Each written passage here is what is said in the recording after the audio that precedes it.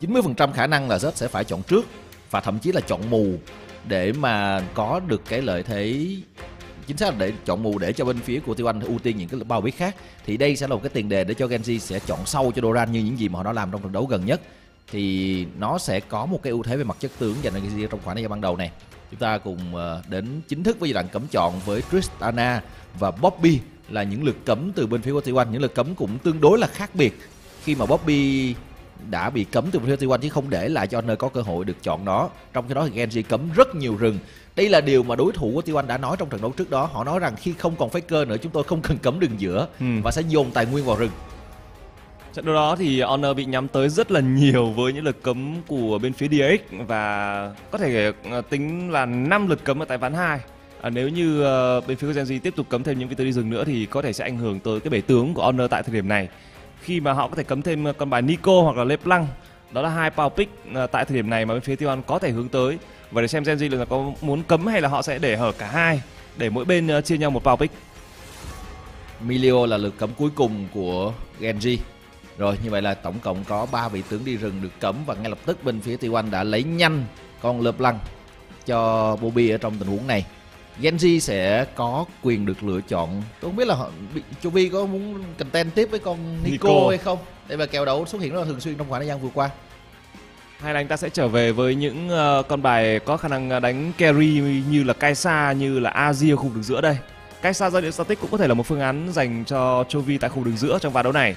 Và Peanut có một power pick trong khu vực rừng được hở ra ở tại Instalock. 1 đó chính là vì ở phía bên kia Instalock.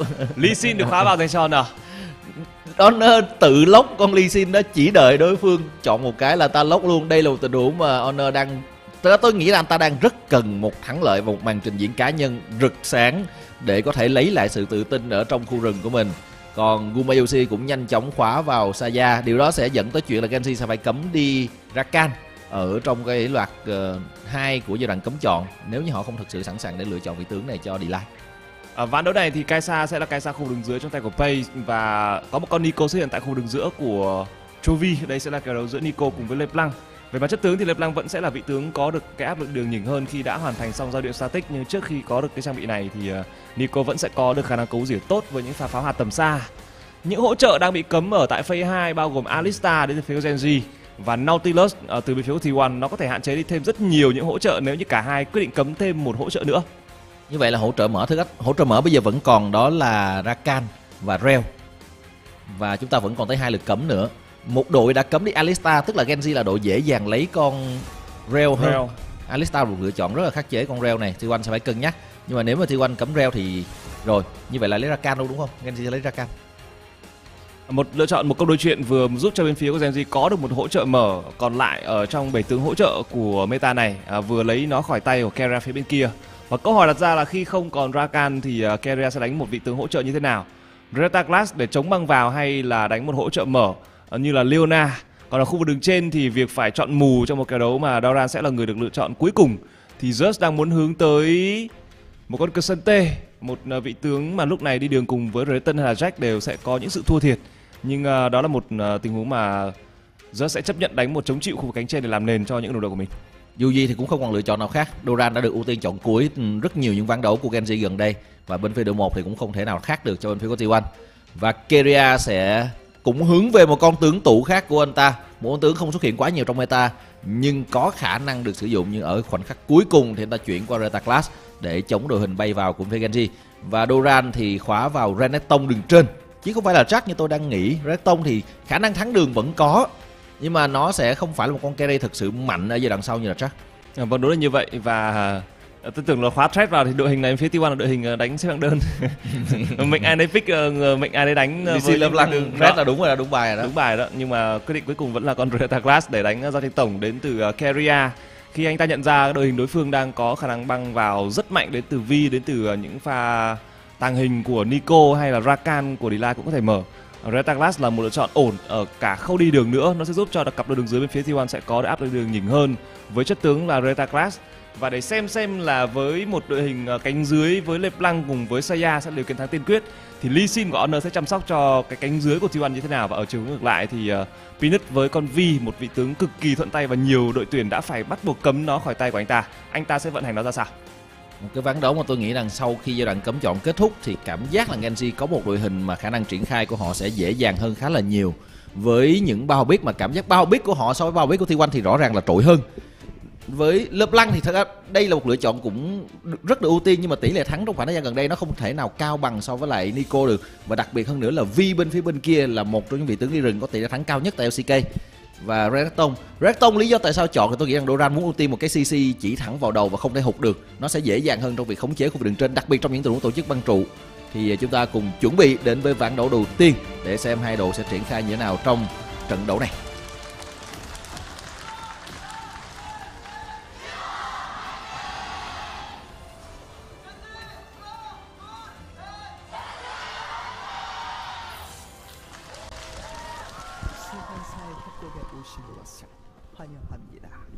Ván đấu đầu tiên đã chính thức bắt đầu với T1 bên phía đội 1 và Genji đội 2 trong trận đấu lượt về giữa hai đội và Genji thời điểm hiện tại vẫn đang bất bại tại LCK mùa hè năm 2023 này. Còn LeBlanc của Bobby đang có ý định di chuyển để có thể cắm mắt với sự hỗ trợ của Under. Hai bên nhìn nhau pha lao lên của Bobby, lấy máu của Binet Khoảng thời gian này vẫn còn đủ để cho người đi rừng của Genji lui về. Và để xem anh ta có chuyển sang máy quét để quét đi con mắt mà Bobby vừa cắm ở tại khu bồ đỏ của Genji hay không.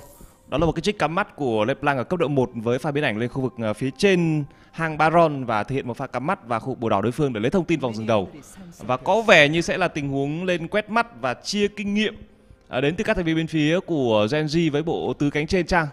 Không, như vậy là Peanut sẽ không quyết định đổi máy quét và Delay cũng không xách cái máy quét của mình lên khu vực ờ, bồ đỏ của Genji để thực hiện một pha quét mắt mà thay vì đó họ sẽ di chuyển về đường của mình với vòng rừng đang là từ cánh trên xuống đến từ Honor.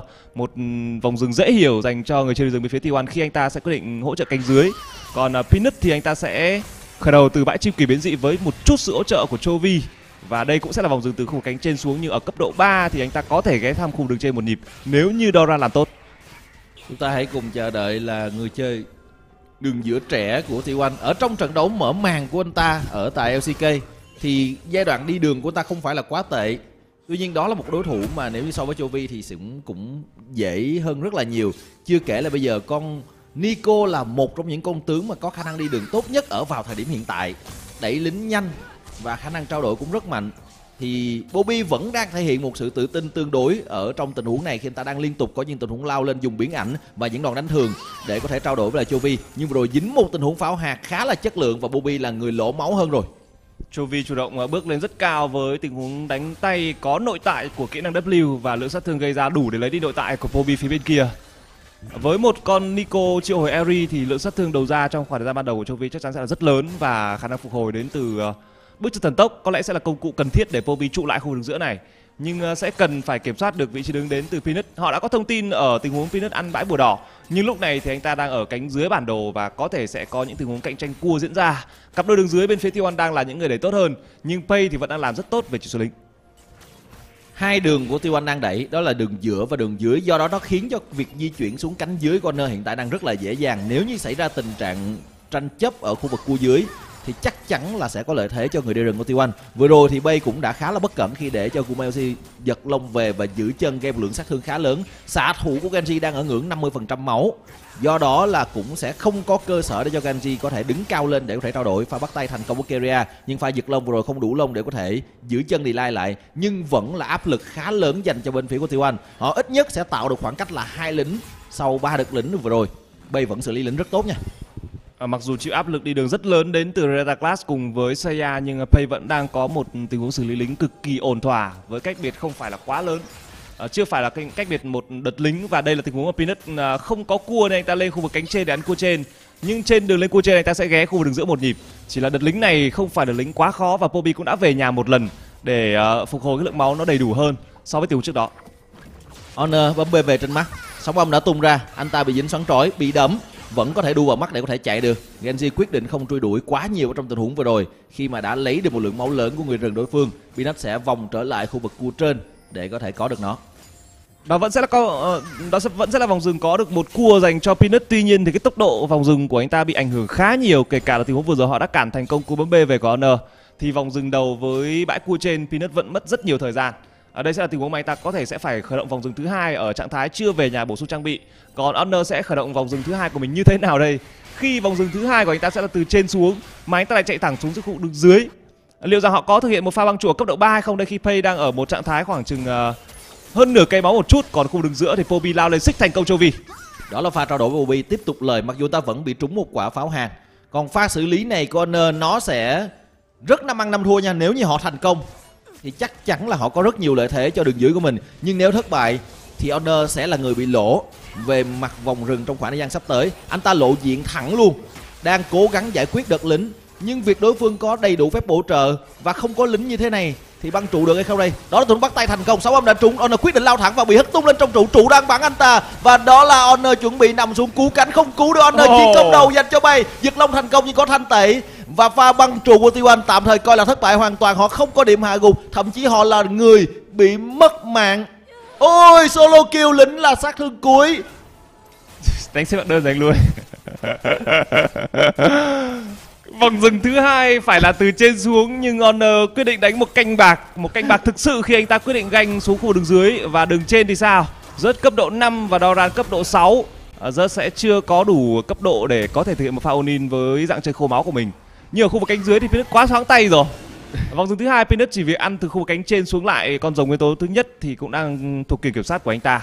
Còn pha ganh vừa rồi đến từ Honor thì uh, nó quá thiếu cơ sở, cặp đôi đường dưới đối phương vẫn còn đầy đủ phép bổ trợ và Dila cũng như Pay đã xử lý đủ tốt để họ có chiến công đầu dành cho xạ thủ của Genji. Tôi cũng không biết là làm sao có đủ khả năng để có thể thắng trong cái pha băng trụ vừa rồi tại vì nó con Rakan còn nguyên cái đúp đường trên thì Doran vừa phải tốc biến khi mà Honor có mặt à đây đúng là con Lee Sin đánh răng rồi đó găng bất luôn. chấp trong khoảng thời gian ban đầu găng tới luôn và tình huống ganh vừa rồi đến từ Honor ít nhất nó cũng đã có một thành quả đó là lấy được tốc biến của đường chơi đối phương. Chúng ta sẽ cùng nhìn lại tình huống solo kill khu đường giữa. Đó là pha xích tốt đến từ uh, Pobi. Những lượng sát thương của anh ta là không đủ và cú tốc biến ai cú tốc biến offline quá gắt của Chovy khiến cho lượng sát thương uh, từ trụ trả lại vào người của cùng với một vài con lính cuối cùng đã mang lại một ma gục uh, dành cho đường giữa bên phía của Genji. Và lúc này với hai ma gục họ đang dẫn trước khoảng chừng 1000 tiền so với T1 giờ đây thì tôi đang thấy là Zed đang bị khép góc nha. Đường về của anh ta đang hơi xa. Doran vừa rồi dí tới và khiến cho Zed phải đi bộ ra phía khu vực bãi người đá. Nhưng mà cũng không bấm bê về mà Zed bây giờ đang đi bộ trở lại khu vực đường trên để tránh việc mất một đợt lính rất là lớn mà Doran đang đẩy vào nhưng mà khoảng cách di chuyển của Zed xa quá anh ta không đi thể nào đi thẳng vào cái đường khi mà Doran đã có lợi thế được anh ta đi một cái đường vòng về tới nơi thì mất ít nhất cũng một hai con lính rồi Doran vẫn chưa cho về nữa nè Ờ, và anh ta sẽ bị mất thêm cả khiên trụ với tình huống uh, Dauran di chuyển vào bằng uh, tàn pháp hủy diệt nữa. Honor làm gì đây? Uh, cấp độ 5 vẫn chưa cấp độ 6. Đây rồi, delay không tốc biến nè. Honor làm lại, té đâu gấp đôi ở đó.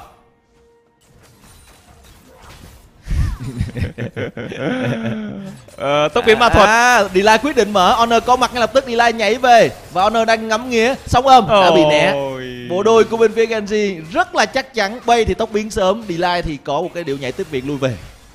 Và pha đầu tư tốc biến sớm đến từ xạ thủ của Genji là vô cùng chuẩn xác để giúp cho hỗ trợ của mình rút lui với đội nhảy tiếp viện. Còn ở khu vực đường trên thì hai khiên trụ đã có dành cho Doran Rớt thì vẫn đang phải ôm đầu máu đứng dưới trụ và Honor pha vừa rồi thì anh ta đã có được lượng kinh nghiệm đủ lớn để lấy cấp độ 6 nhưng độ cơ động quá cao đến từ một con Rakan đã khiến cho Honor không thể chọn mục tiêu. Và pha sóng âm cuối cùng của anh ta trượt à, báo hiệu một tình huống ganh nó cũng sẽ không thành công dành cho người chơi rừng bên phía T1 ba pha ganh liên tục đến từ Honor và cái thứ duy nhất mà anh ta thu lại được mà được tính là có lời đó là một à, con à, Reton bị bất tốc biến khung cánh trên. Còn khu vực này đang là một huống kiểm soát sứ giả nhưng Phoenix bị cô lập bởi ba thành viên phía T1 và anh ta nằm xuống với mạng rồi Zeus. Nếu như anh uh, găng bất chấp thì Binet cũng có một pha xử lý cũng hơi bị mạo hiểm một tí khi mà anh ta ăn con sứ giả rất là lâu một mình mà không hề có bất kỳ một sự di chuyển nào đến. Từ Doran hay Chu Vi vào cả và lượng máu quá thấp. Ba thành viên của T1 di chuyển vào thì cái con sứ giả đó đã khiến cho Binet phải trả lại một mạng cho T1 nhưng rõ ràng là Genji vẫn đang vượt trội hoàn toàn. Bây giờ ở khu vực đường trên họ có đã có một lớp giáp trụ. Đường dưới vừa có một lớp giáp trụ. Bay mặc dù mất tốc biến nhưng mà ta có chiến công đầu. Và con sứ giả đầu tiên này sẽ rất là dễ dàng để cho bên phía Genji chuyển hóa nó thành hai lớp giáp trụ nữa. Trong khi đó đường dưới bắt tay thành công thiêu đốt đẩy vào. Nhưng có delay ở đây để che và bay có thể đi bộ về được. Đó là tình huống mà Pay còn thanh tẩy và anh ta không sợ cú chiêu cuối tới từ Keria. Có thể được đưa ra trong tình huống vừa rồi. Keria đã dùng một cú thiêu đốt để có ý định ép um, Pay phải dùng thanh tẩy nhưng xạ thủ của Genji quá bình tĩnh trong pha vừa rồi. Còn chúng ta hãy cùng nhìn lại tình huống ăn sứ giả trên tầm nhìn. Tới từ Phoenix rất may là anh ta vẫn à, thực hiện được cú trừng phạt để à, giữ lại sứ giả trước khi anh ta lên bảng điểm số. Và anh anh ta nằm xuống cũng không phải nằm xuống một cách à, khơi khơi. Anh ta vẫn sẽ có mục tiêu lớn dành cho bên phía của Genji một ván đấu mà anh ta đang có được những lợi thế về mặt vòng rừng so với Honor khi Honor đang bỏ rừng đi pha, đi ganh rất nhiều và chỉ số farm của anh ta bị ảnh hưởng trực tiếp với những pha ganh như vậy. Với con sứ giả thì để xem xem là Peanut sẽ muốn triệu hồi nó ở tại khu vực đường nào. Nếu như muốn dồn tài nguyên dành cho Rayton của Doran để đánh sớm thì đó sẽ là cái trụ một lập tức có ở khu cánh trên dành cho phiếu Genji với áp lực tới từ sứ giả. Honor đang bị rình, nhưng mà pha soi sáng tốt của Kira đã giúp cho Honor có đủ thời gian để có thể bỏ chạy và thoát khỏi xuất hiện hành tráng tránh việc bị Binat tấn công. Mỹ rừng của Genji vẫn đang tiếp tục đẩy xuống và anh ta không có được mạng của Honor nhưng sẽ có được con cua dưới, còn sứ giả được kích ở đường giữa để khiến cho cái trụ một đường giữa của Anh rất là yếu máu. Nếu như sứ giả hai thuộc về Genji, chắc chắn 100% họ sẽ giải quyết được cái trụ một đường giữa một cách rất dễ dàng mà không tốn bất kỳ một công sức nào cả. Và giờ đây áp lực đang bắt đầu dịch chuyển dần xuống khu vực cánh dưới. Nhưng tôi không biết là Binat có bắt đầu di chuyển xuống để tung tả xung hô đột hay chưa, nhưng mà anh ta đã quay trở lại với rừng của mình để giải quyết vụ xanh rồi một ván đấu mặc dù không có nhiều mã hạ gục dành cho bên phía của Genji nó không quá vượt trội với chỉ số là 2-1 về mạng, nhưng về thế trận cùng với lối chơi thì Genji đang là những người ờ, dẫn dắt lối chơi tốt hơn so với phía của T1 sau những pha ganh ờ, tương đối thất bại của Honor thì anh ta đang bị bỏ lại khoảng cách tương đối lớn về mặt chỉ số các vật rừng. Và bây giờ thì anh ta vẫn chưa có cơ hội để dùng cái nộ long cước của mình nhằm phát động một pha tấn công ra các khu vực đường. Anh ta đang muốn chạy thẳng lên khu vực đường trên để tìm kiếm Doran người sắp hồi lại tốc biến sau ít giây nữa. Và không biết thì pha này ờ, bên phía của T1 có thành công trong việc hạ gục Doran. Trước khi anh ta có tốc biến lại không? Đang cóc cóc chạy lên gan rồi. Rất bắt đầu canh góc để có thể chuẩn bị bế về, nhưng mà Doran giải quyết lính rất nhanh, sau đó đi thẳng về trụ bấm B. Genji đang biết rằng Honor đang có một cái kế hoạch là găng bất chấp cho nên là họ đang rất là cẩn trọng với những tình huống BK và không BK láo. Doran đi thẳng về nhà.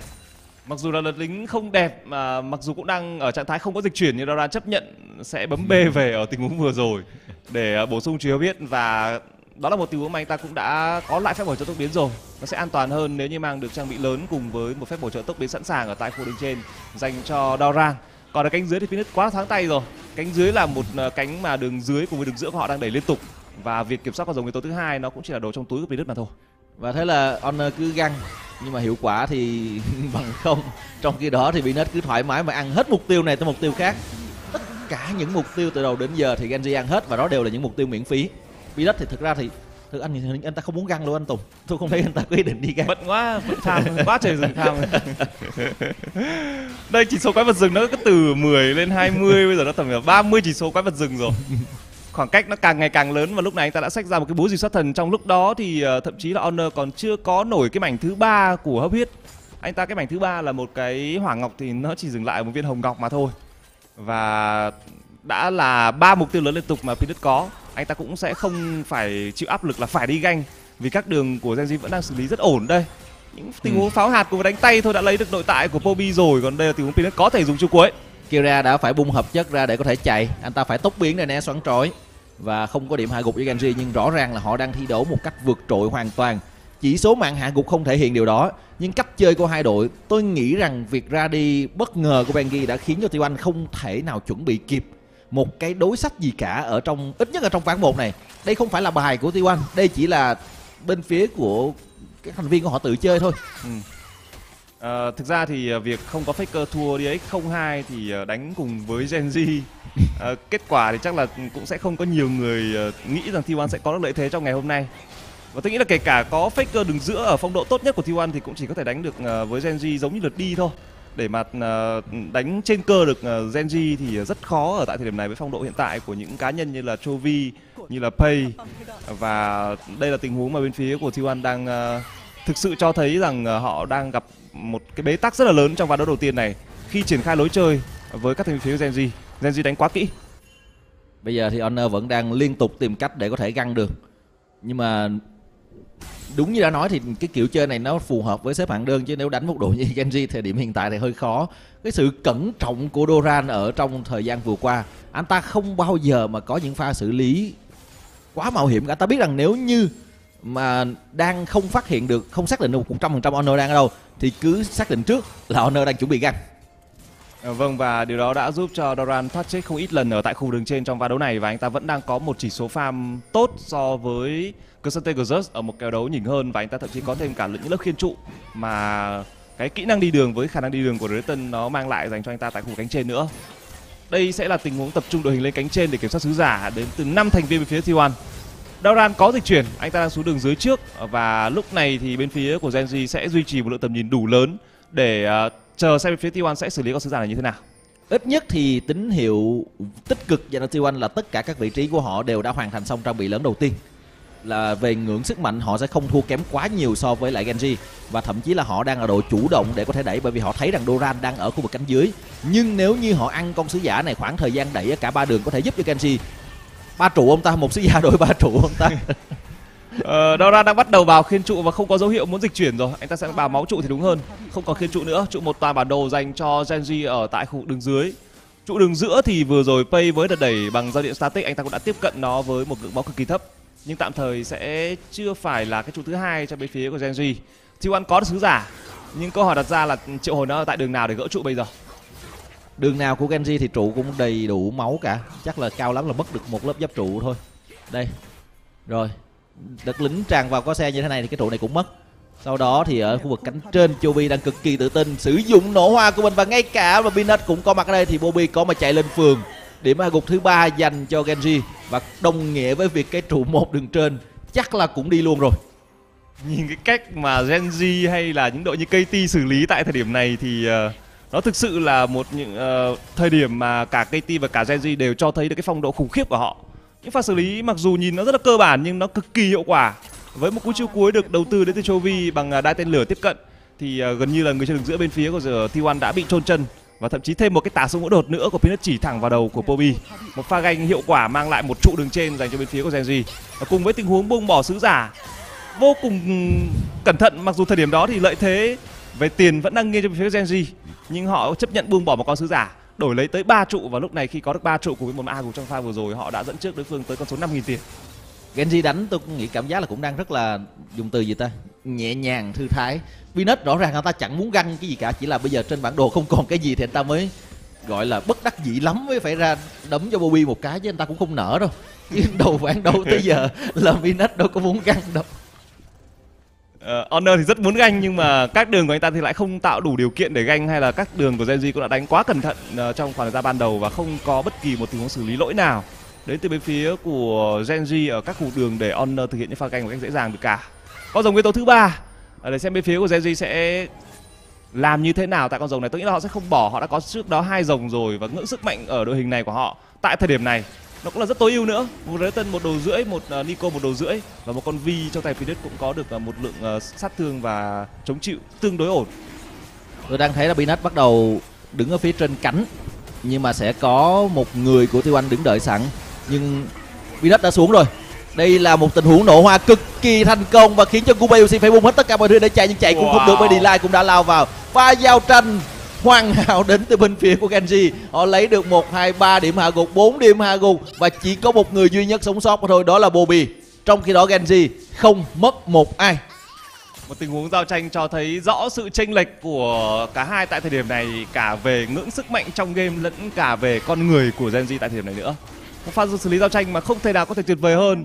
Gumayushi còn tất cả mọi thứ anh ta có ở trong pha giao tranh vừa rồi. Tốc biến có, thanh tẩy có nhưng anh ta sẽ làm được gì với cái bão tố nổi dậy của mình đây khi mà những kỹ năng đến từ bên phía của Genji chỉ thẳng vào người của anh ta như vậy? Đầu tiên là pha nổ hoa đến từ Chovy, nó gây một lượng sát thương đủ lớn để khiến Gumayushi ngay lập tức phải bung ra tất cả những gì mình có. Lá tốc biến là thanh tẩy và cả bão tố nổi dậy nữa. Và khi hết những cú chiêu cuối hết những pha tốc biến hết những pha thanh tẩy thì Rakan của Delay ngay lập tức lao vào mở và chọn mục tiêu đó chính là xạ thủ đối phương. Pha tranh mà Gumayushi không được chơi game và hình như tình huống búp cứu cánh của Keria búp vào người của Honor pha đó tôi còn thấy là khi mà bắt đầu là chu vi bắt đầu di chuyển lên là đội hình quanh dạt ra hết hai bên để chừa đường vào của Mayushi Ubi chạy lên rất cũng chạy lên phía cánh trên. Honor chạy ra xuống dưới. Kira thì đứng sẵn ở bụi cỏ chặt ba là kiểu như dàn hàng ra để dẫn hết đội hình Genji vào thẳng của Bayoshi Thôi thì ờ, ván đấu này tôi nghĩ là chắc cũng không còn nhiều hy vọng gì cho bên phía T1 Chắc là thực ra bây giờ T1 chắc chỉ muốn thôi dứt điểm nhanh trận BO3 này thôi chứ đánh đau đớn quá thực sự là mặc dù Gen Z họ sẽ nếu mà nói họ làm nhiều trong khoảng thời gian ban đầu họ cũng không làm nhiều lắm. Họ chẳng làm gì cả. Họ không thực sự làm quá nhiều họ không có những pha ganh quá rát của Peanut trong khoảng thời gian ban đầu giống như cách mà Juhan đã out jungle honor ở ván thi đấu với uh, T1 và DRX còn đây là tình huống như thế nào đây? Muốn uh, shut down Chovy chăng? Không tốc biến. Phân hình rất nhanh. Nổ hoa được sử dụng. Câu được khá nhiều thời gian xoắn trói hai người. Và đó là đội hình của Genji tới. Đánh thế này thì chịu rồi cứ ép phải tạo highlight người ta đang muốn đánh. Nhẹ nhàng không thích. Xoắn trói hai người. Cái góc đó sao lại có xoắn trói hai người được anh tùng? Ảo ảo thật sự. Đây là một con Nico cũng không có đồng hồ không có tốc biến nha. Rồi Gumayushi chưa có r thì phải chưa có vài giây nữa. Có kịp hay không đây? Chạy được một đống nữa. Rồi vừa kịp hồi lại. Bảo tồn là dây đã được sử dụng và Gumayushi sẽ sống tạm thời thì anh ta sẽ sống với tình huống bung chiêu cuối và rút lui, nhưng con Baron phía sau thì chắc chắn là nó sẽ không có được một cái kết cục tươi sáng như vậy. Ở đây sẽ là tình huống ép Baron ngay khi nó vừa xuất hiện đến từ bên phía của Genji và chẳng có cách nào để đối bên phía T1 có thể nhìn thấy mặt con Baron này cả. Một khoảng không rất lớn về mặt tầm nhìn của T1 ở tại khu vực búa xanh của họ cùng với khu vực sông trên. Và thậm chí cũng không có rồng để họ gỡ nữa. Một ván đấu rất một chiều và những tình huống xử lý đến từ phía T1 cho thấy sự bế tắc của họ tại thời điểm này khi bắt một con Nico cấp độ 13 một phản xạ rất nhanh tới từ Chovy. Nổ hoa xoắn chói vẫn hai người. Nó ở bên phải Honor và nó ở bên trái Toby. Sao có cái cái góc xoắn trói gì mà nó ảo ma thật sự? Tình huống xử lý tới như vậy của Chu Vi thì chịu rồi. No hope uh, hoàn toàn là không có bất kỳ một um, tia hy vọng nào dành cho T1 ở trong ván đấu đầu tiên này cả ở những tình huống tấn công đầu tiên của Honor thì đã thấy đó là những tình huống ganh ờ, rất dướn rồi. Và sau những tình huống ganh dướn như vậy rất nhanh anh ta sẽ bị thất thế hơn so với người chơi dưới bên phía bên kia của Genji và Peanut đã kiểm soát tất cả những mục tiêu lớn có thể. Họ chấp nhận buông bỏ một con sứ giả để hướng tới ba trụ và lấy lợi thế về mặt uh, trang bị lấy lợi thế về mặt ừ, tầm nhìn ở tại con rồng nguyên tố thứ ba. Và đó là một con rồng hoàn toàn uh, chết chóc dành cho bên phía T1 nó kéo theo đó là những hệ quả uh, với Baron đầu tiên của ván đấu cũng đã thuộc về phía Genji một ván đấu mà Genji chỉ mất một mạng ở trong tình huống kiểm soát sứ giả của Peanut và mất con sứ giả thứ hai mà thôi còn họ chưa bị mất bất kỳ một công trình nào việc mất đi cả người thủ lĩnh trong game lẫn ngoài game trong một thời gian ngắn như thế này rõ ràng đã khiến Tiêu Anh không thể nào có bất kỳ một cái giải pháp nào để có thể hạn chế sức mạnh của Genji cả. Binet chuẩn bị đấm vào. bạn anh ta đấm thẳng vào Honor. Thì Lai lao tới, nhưng số người hành tráng vừa rồi đã không đủ tầm để có thể hất tung. Thời gian của bản đấu bây giờ mới chỉ là phút thứ 22 mà thôi và Genji đang chuẩn bị lấy cái trụ thứ 5 ở trong ván đấu này đó là cái trụ thứ hai khu vực đường trên. Con Baron này đang nhẹ nhàng khoảng chừng 3.000 gần 3.000 hơn 3.000 dành cho phía của Genji. Và cái cách biệt tổng về tiền là con số 11.500 tiền tại thời điểm này. À, đó là một cách biệt rất lớn về mặt trang bị đến từ cả hai bên và những chất tướng như à, uh, Vi, Renekton, Nico thời điểm này đang là những chất tướng mạnh nhất. À, Pay ván thi đấu này thì anh ta vẫn đánh rất ổn, mặc dù ra đi đường thì anh ta chịu một chút sự thiệt thòi về mặt chỉ số lính so với Gumayushi. Nhưng uh, cánh trên của anh ta với chất tướng khỏe trong khoảng thời gian ban đầu đã tạo ra những áp lực đủ lớn. Và Pay cũng là một xạ thủ có khả năng uh, giữ mạng cực kỳ tốt ở khâu đi đường. Anh ta cùng với Minh đang là hai xạ thủ có cái tỷ lệ nằm xuống cực kỳ thấp và đây là tình huống mà T1 muốn bắt một con Renekton à. Chọn sai mục tiêu rồi đấy. Còn đây là một con Renekton uh, nhìn còn cực kỳ nhiều tài nguyên nhưng mà Duran không Duran không không không mạo hiểm một tí nào nha. Anh ta cứ chạy thẳng về trước để đã, tính gì tính. Đồng đội còn xa mới tới. Và khi đồng đội tới thần cá sấu được bật lên bắt tay đẩy Duran nha. Duran tốc biến lên, lấy cái thanh tẩy của Mayushi chưa vì không bắt được Guma ôi, vẫn trúng kia Guma vẫn bị dính với tình CC lại. Và phía sau là bị đất lao tới đấm. Liên tục là T1 nằm xuống từng người từng người một. Họ mất bốn người trong pha này và một lần nữa Bobby là người duy nhất có thể thoát được, tại vì anh ta còn bị ảnh và lại một lần nữa Genji giao tranh thắng mà họ không mất bất kỳ một ai. Thậm chí là Doran còn không mất cái đồng hồ của mình trong pha vừa rồi và giao tranh xong thì à, con Renekton của Doran vẫn còn tới gần như là 100% cây máu. Phoenix đang có ý định tìm kiếm Pobi để hướng tới một pha solo kill. Pobi còn tốc biến, những cú đấm quá đau đến từ Phoenix và tả sông ngũ đột vào giữa đầu và sát thương là đủ quét sạch với tình huống solo kill cuối cùng dành cho Phoenix. Một ván đấu mà cũng không còn gì để nói thêm về sự áp đảo của Genji giải đấu của chúng ta trong khoảng chừng 2 tuần trở lại đây đang trở thành giải đấu hai đội khi chúng tôi phải bình luận rất nhiều những trận răng hàng khi mà Genji với lại KT thi đấu. Toàn là hủy diệt hay không. Và nhìn cái cách mà Chovy lao vào mở với con Nico này, nó thực sự là một tiếng mở hoàn hảo. Với pha chiêu cuối cùng với son chói, nhiều thành viên đối phương. Doran cũng đã bóc rỡ đi tài nguyên của Gumayoshi bằng một pha tốc biến và thực hiện một cú đứt trên 50 độ rồi sau đó là Peanut với pha solo kill để hoàn thành cú quét sạch trong tình huống giao tranh vừa rồi dành cho bên phía của Genji và cách biệt nó đã lên tới con số là 13 14 nghìn tiền rồi. Và đây là tình huống mà Keria đi đâu thế này? Chạy thôi cung Surelia. Chạy thẳng về phía sau trụ của Duran Duran sẽ tiếp tục đi thêm vài nhịp nữa để dí tới tại vì anh ta cũng phải đưa, lấy cái điểm hạ gục mà thôi chứ không, không bỏ được. Đồng đội của anh ta thì chuẩn bị đẩy vào ở khu vực cánh trên. Một cú sóng ông găm vào của Honor không có nhiều tác dụng lắm đội hình của Genji họ thiếu lính. Trong khi đó thì Doran sẽ dứt điểm Keria ngay bây giờ. Sẽ là tình huống uh, câu kéo thêm một chút thời gian dành cho Doran vì anh ta còn dịch chuyển nên là pha này thì ờ, uh, Keria sẽ phải nằm xuống với một khoảng thời gian đếm số khá lâu. Nhưng đợt đẩy lên phía Genji tại khu vực đường trên thì nó cũng đã hết rồi và sẽ là tình huống nếu như an toàn thì chờ các baron thứ hai. Để kết thúc ban đấu nó sẽ dễ hơn trong việc tấn công vào các trụ bậc thềm của C1 vì dù sao ban đấu nó cũng chỉ là vấn đề thời gian đối với họ chờ Maron là hơi chắc quá luôn á tại vì nãy giờ chúng tôi không đếm số tiền chênh lệch chứ giờ đây. Nó hơn 10 ngàn từ nãy giờ rồi. Ủa, đi ra làm gì đây? Vào lấy nửa cây máu honor đi ra đây. Dần mặt ác. Đi live vào hỗ trợ Genji một chấp ba xong đi ra. Honor tái mặt luôn không hiểu chuyện gì vừa xảy ra cả. Đó chỉ là lại có đồ sát thương mà có ngọc quỳnh lãng kia. Khá khá sát thương đó anh ta vừa lấy đi nửa cây máu của honor trong pha lao vào tấn công với cú chiêu cuối của mình mặc dù nhìn nó phải hơi dướn. Ờ, nhưng uh, có lẽ cũng sẽ là tình huống mà cũng không có gì mất mát dành cho bên phía của Genji với tình huống mất tài nguyên vừa rồi của Delay cả. Con rồng nguyên tố thì ờ, sẽ mất một khoảng thời gian trước là con rồng ngàn tuổi sẽ mất một khoảng thời gian khá dài.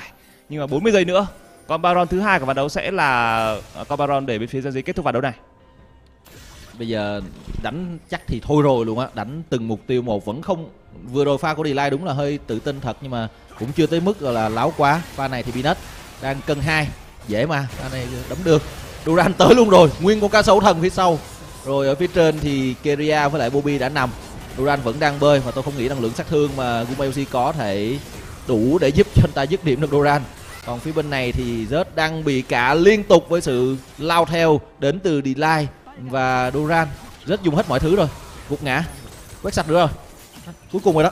À, chỉ tiếc là ván này thì à, không có cái pentakill dành cho Pay mà thôi bởi vì uh, anh ta đang là một cái xa uh, mặc dù rất xanh. Ván thi đấu này thì anh ta uh, phụ thuộc hơi nhiều một chút ở đoạn đầu trận vào đồng đội cánh trên nhưng anh ta vẫn giữ mạng và có rất là nhiều mạng hạ gục trong ván đấu này.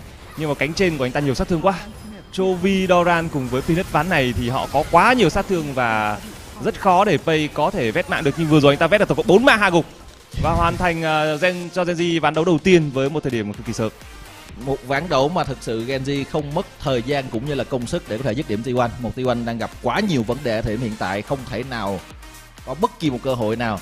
Chúng ta hãy cùng chờ đợi là liệu sau giờ nghỉ thì có một cái điều thần kỳ khủng khiếp nào xảy ra để cho T1 có được bộ mặt sáng hay không khi mà chúng tôi quay trở lại với các bạn.